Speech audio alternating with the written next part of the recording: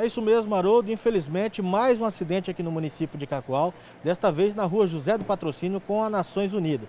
Vamos conversar com a equipe que prestou socorro a essa vítima até o Hospital Euro. É o Sargento R. Alves. Sargento, como é que foi os trabalhos de socorro a essa vítima? Qual o estado dela? Como é que funcionou os trabalhos?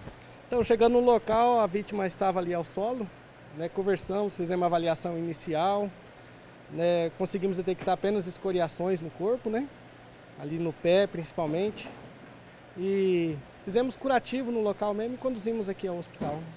Nessa ocasião a gente percebe que nesse horário de pico, até mesmo nesse final de ano, o fluxo de veículos aumenta no município e com isso também as pessoas também têm que redobrar a atenção. E isso tem aumentado aí o número de acidentes, né? E o fluxo também, igual você falou.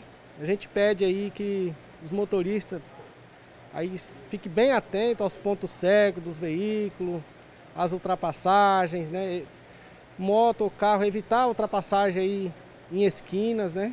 Hoje mesmo já aconteceu um outro acidente, no momento que o rapaz fazia uma ultrapassagem e era uma esquina e a pessoa virou o veículo e acabou que não chegou a colidir, mas ele saiu fora da estrada e graças a Deus foi apenas escoriações também. Mas a gente pede aí muita atenção, aí só fazer uma manobra quando tiver total certeza do que está fazendo, né? Enquanto acontecem esses acidentes que a pessoa só fica ferida, ainda a gente dá graças a Deus. O problema é quando acontece uma fatalidade. Verdade, né? E, e lamentavelmente é, acontece, né? Tem acontecido aí. A gente pede então que redobre a atenção. Aí cuidado com os pontos cegos dos veículos, a coluna. Um dos pontos cegos principal que tem causado muito acidente é a coluna da direita, né? Tem aquela coluna ali que às vezes a moto está vindo numa velocidade que coincide com a velocidade do deslocamento da coluna na estrada e a pessoa acaba não vendo.